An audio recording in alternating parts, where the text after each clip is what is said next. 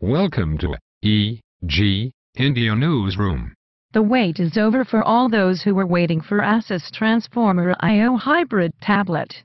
This tablet is finally being released in Indian market. Asus has just sent out invitations for an event which will be conducted on the 22nd of May 2013 in India. In this event, Transformer AiO is going to be released.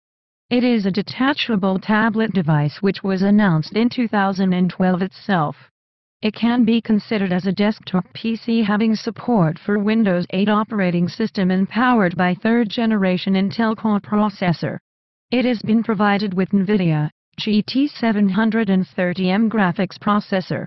Special feature of Asus Transformer AiO Hybrid tablet is that it will easily switch into self-contained tablet device running on Android 4.1 Jelly Bean version of operating system. In the tablet mode, it will have NVIDIA Tegra 3 quad-core processor. Just with the touch of button, it can transform from desktop to tablet. As a tablet, it will have 18.4 inches screen size with Full HD type of display that is 1920 by 1080 pixels. LED backlit IPS type of screen can be noticed on this mobile which has got 178 degree wide viewing angles. Wide range of connectivity options can be utilized on this Asus Transformer AiO hybrid tablet. It can be connected through mini HDMI port also. One can use dual band Wi-Fi connectivity on this tablet.